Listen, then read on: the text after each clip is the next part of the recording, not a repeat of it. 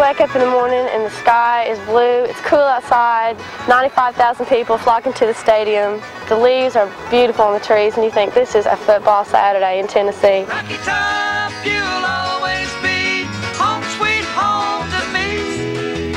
Good old Rocky Top, Rocky Top, Tennessee.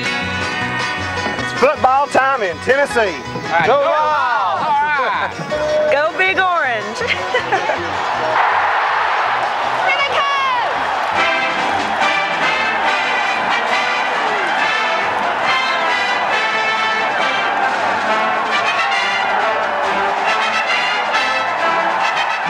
Stadium, the second largest campus stadium in college football, and battleground for the tradition and excitement that is Big Orange football. I remember the first time that I ran through the tee in 1973 on a Saturday night football game against Duke. What a great thrill for me it was. And I remember the last time that I ran through the tee against the University of Kentucky on a Saturday afternoon in 1976. And the thrill was as great then as it was when I did it the first time in 1973. Tradition, achievement, success. Part of the proud heritage that is Tennessee football.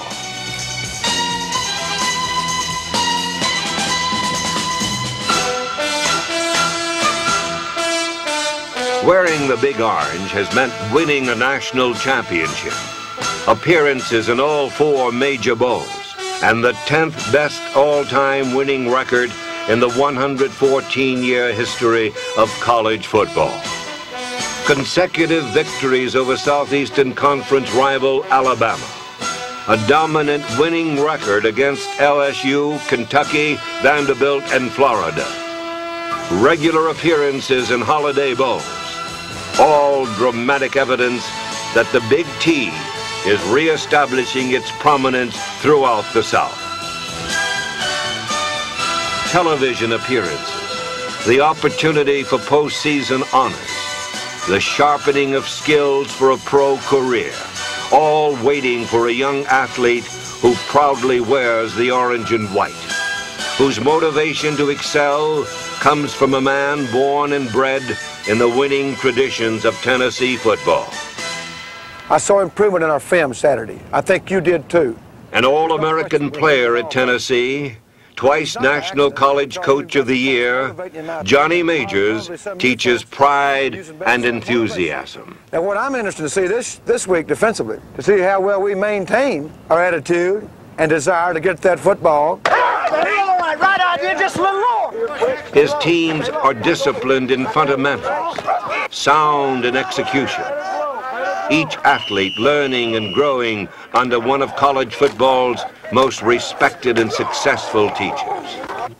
The most enjoyable aspect of coaching period is the actual work on the field with the young men who put the uniforms on.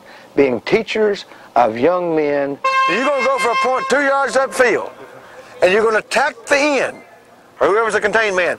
Don't run too deep. If you do, they're going to smell a mouse, and they're going to get deep to contain. We want to make it think it's a run-off tackle, okay? And keep them off your feet. You have to learn to recognize that and read with him. And go ahead now. Step, step. Get real low. Get real low. Get, get down low. Okay. I can use my hand. See, and then Chuck him. See. This time, Chuck, you go a little quicker. I'm too quick for you. And we're in bad shape. I'm quicker. You are real bad shape, right? Coach Majors was the reason I came to Tennessee. He uh, he's a winner, and uh, and that's what it all boils down to. He's a hard worker and he's a dedicated man, and he believes you gain things through hard work. Hey, you gonna when you run the ball, are you gonna are you gonna huck and buck when you get it? No, sir. No, you're gonna run. While they're on the practice field, the number one objective is to practice up to their potential. And when they're playing for 60 minutes, it's to play up to their potential for 60 minutes. However, off the practice field, the number one thing they're here for is to get a degree and an education in that degree. Athletic achievement, yes, but more important, a total education. Willie Gault, a marketing major, found a perfect environment to grow and mature.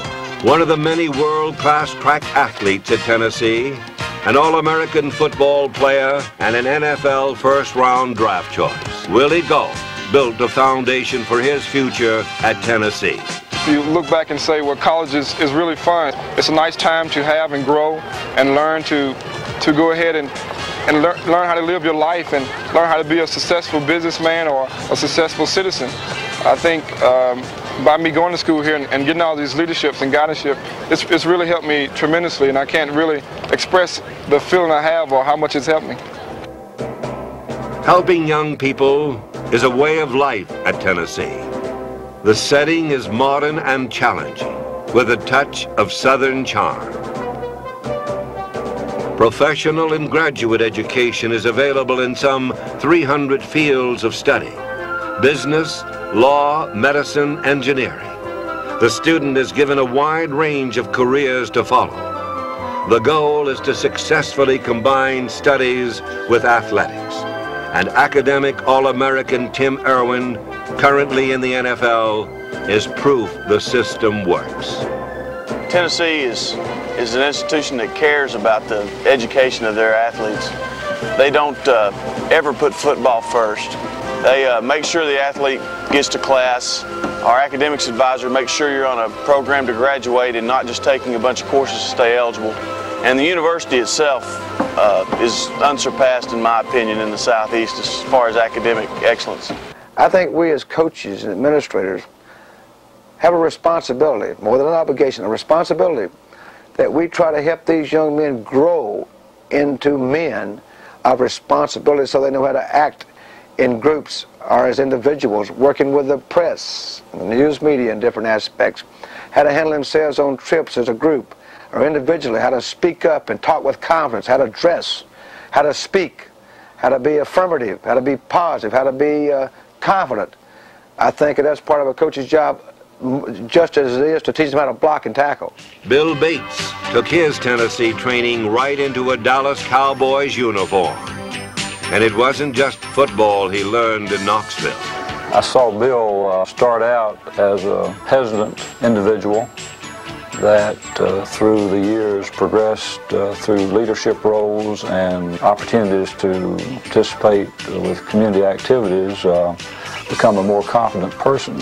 And he had a lot of opportunities to go to other places like Notre Dame and UCLA uh, and uh, Mississippi and Alabama and other places, and he chose UT, and uh, he's been very happy with it, and consequently, I've been very happy with it.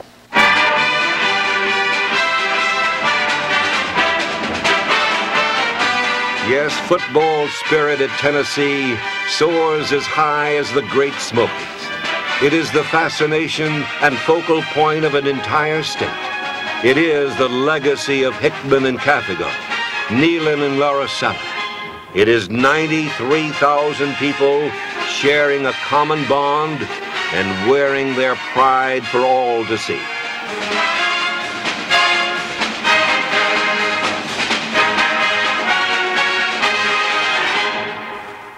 Football here is such a great tradition, and everybody sticks together. Everybody gets out and goes to the games. Everybody's dressed in orange and white. Over the years, the passions of those dressed in orange and white have been stirred by some old-fashioned football traditions. Defense, get tough. We gotta get good field position here. All right? Now you only believe you only believe you believe you are. You only believe you Defense, Tennessee style. The ability to analyze the reaction to follow the flow, and the desire to implant an orange tee on somebody's chest.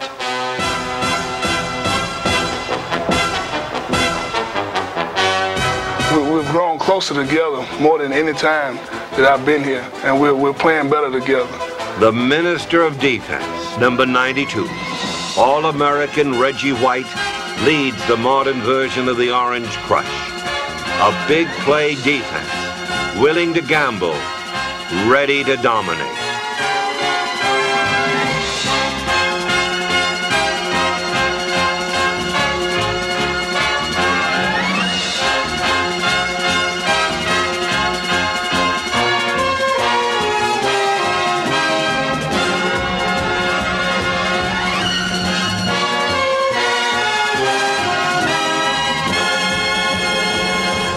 Ever since the legendary General Bob Neyland coached at Tennessee in the 30s and 40s, no football program in America has put more emphasis on the kicking game than the Vols.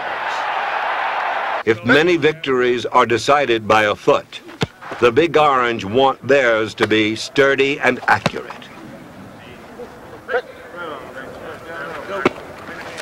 Kicking and defense are the foundation. But to compete week after week in the rugged Southeastern Conference, the Vols demand a power offense that hits at the heart of the enemy. Under Johnny Majors, the Orange has thrived on the quick strike, sending skilled wide receivers like Anthony Hancock, Mike Miller, Stanley Morgan, Darrell Wilson, and Willie Gault into pro football, and surprising defenses with a playbook of game breakers. Alan Cockrell brings his team to the line of scrimmage. Behind center, Glenn Streno. Cockrell back to throw.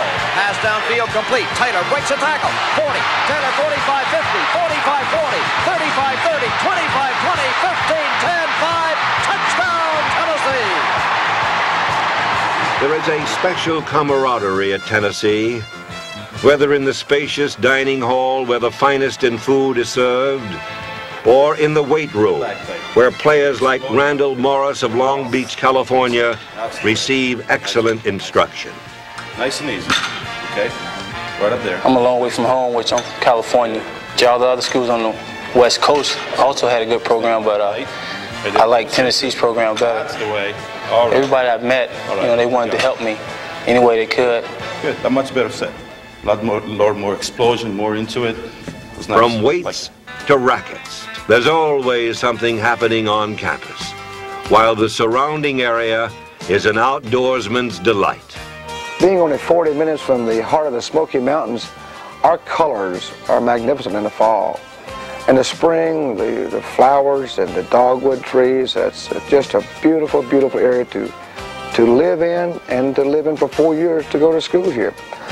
The recreational opportunities, the lakes and the rivers and the mountains, uh, the opportunities for, for a sporting person as far as hunting and fishing, if a young man likes that, but mountain climbing, rafting, uh, just tremendous amount of recreational opportunities around here. Perhaps the most thrilling activity comes on Saturday when 95,000 fans jam the largest football stadium in the South to become part of a UT spectacular. And they fill every seat in Neyland Stadium for one reason, to see their team turn on the juice. The orange juice.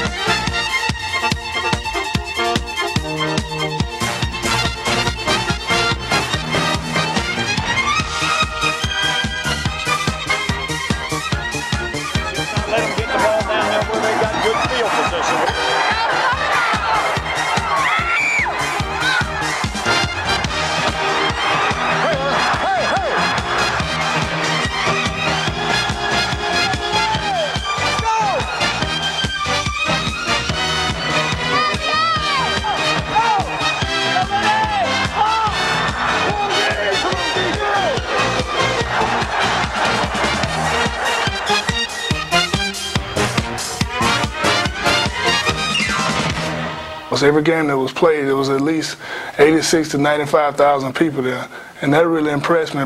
I'm from Atlanta, and I've never been to a game that's so excited and so live. Everyone gets so excited, and sitting in that stadium with 93,000 people each week is just great. It's wow. It is complete. 15 10 5. Touchdown, Big Orange. Every touchdown sparks another explosion of pride in this cauldron of college football. Another chapter in a legacy of Big Orange athletics second to none. Wearing the orange shirt of Tennessee carries with it a lot of responsibility to uphold our great tradition. Ever since I've been in the fifth grade, I'd wanted to wear that orange jersey. I'm now a dentist here in Knoxville I've returned here since dental school and wouldn't live anywhere else in the world. Big Orange Country means a great deal to me. Yes, Big Orange Country is special. To those who have worn the cherished orange jersey and gone on to successful careers in business or professional football. To the hundreds of thousands who wave their colors and live and die with volunteer football. It is special to a coach who believes in winning, but understands an even greater responsibility to his young men. And to those men who wear the orange jersey with determination and enthusiasm and pride. Young men who share the winning spirit and epitomize the long history of achievement that has made Tennessee football a winning tradition.